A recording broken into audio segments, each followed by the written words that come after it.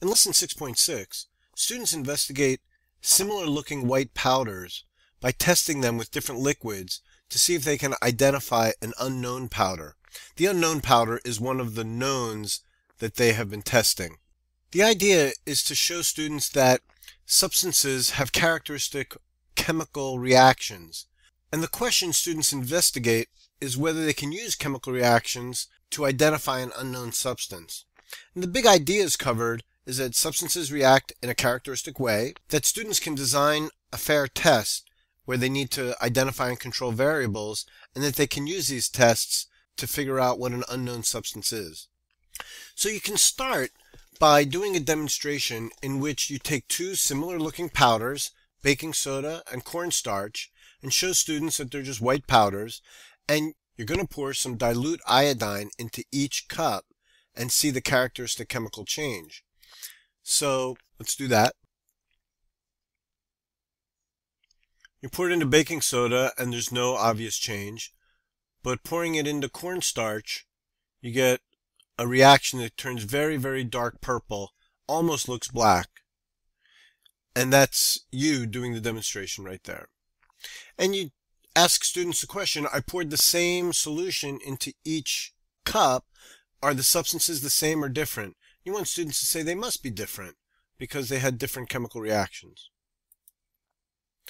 So what students do is they take baking soda, baking powder, cream of tartar, cornstarch, and the unknown. We'll tell you right now that the unknown is baking powder. And they put a pile of each one on their test chart. Then students will test each one with water, vinegar, iodine, and an indicator solution. We use universal indicator, but you could use another one if you want. And they'll see the characteristic series of reactions, like they get a set of reactions for baking soda, they'll get a set of reactions for baking powder, and so forth with cream of tartar and cornstarch, and with the unknown. Then the idea is that they look at the set of reactions and determine which one matches up with the set of reactions of the unknown. Then they know what the unknown is. So students fill out their chart and things like uh, for baking soda with the water, there was no change. Vinegar, there was a lot of bubbling. For iodine, there was no change with the baking soda. And the indicator, it turned kind of a greenish blue. And then for baking powder, they would write down their different reactions that they saw.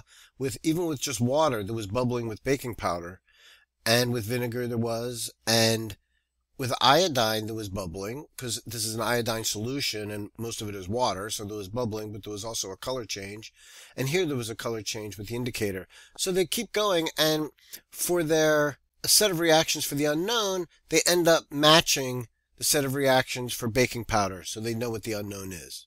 Now, if you're in an NGSS state, there's a performance expectation, MSPS 1.5, which says develop and use a model to describe how the total number of atoms doesn't change in a chemical reaction and thus mass is conserved. Well, lesson 6.6 doesn't explicitly deal with chemical equations where you can see that the type and number of atoms on the left in the reactants is the same as in the right in the products. It's more closely matched up with a particular disciplinary core idea. The idea that substances have characteristic chemical reactions. Let's look at the foundation boxes. The foundation boxes say that you can develop a model. In this lesson, students actually don't really develop models. Instead, really what they're doing is creating a way of finding out what an unknown substance is by using the characteristic chemical reactions of each substance.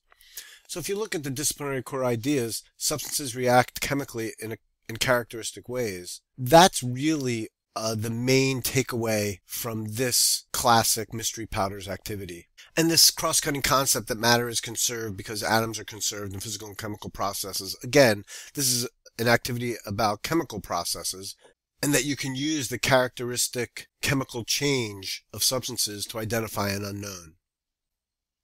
So thanks for watching and good luck with the lesson.